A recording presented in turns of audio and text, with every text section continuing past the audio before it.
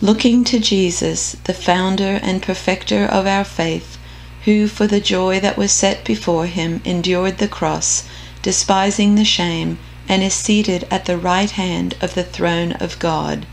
These things I have spoken to you, that my joy may be in you, and that your joy may be full.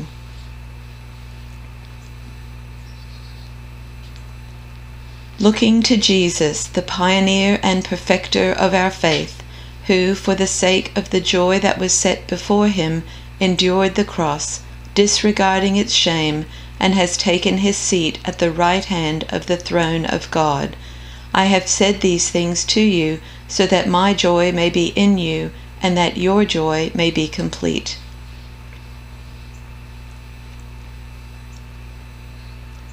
Fixing our eyes on Jesus, the pioneer and perfecter of faith, for the joy set before him, he endured the cross, scorning its shame, and sat down at the right hand of the throne of God.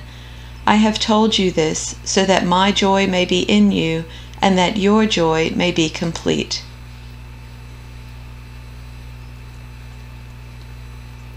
We do this by keeping our eyes on Jesus the champion who initiates and perfects our faith.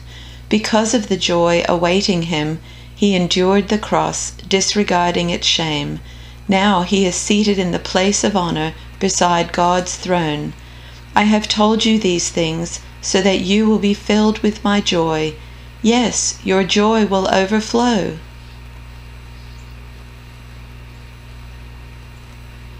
Keep your eyes on Jesus, who both began and finished this race we're in. Study how he did it. Because he never lost sight of where he was headed, that exhilarating finish in and with God, he could put up with anything along the way cross, shame, whatever, and now he's there in the place of honor, right alongside God.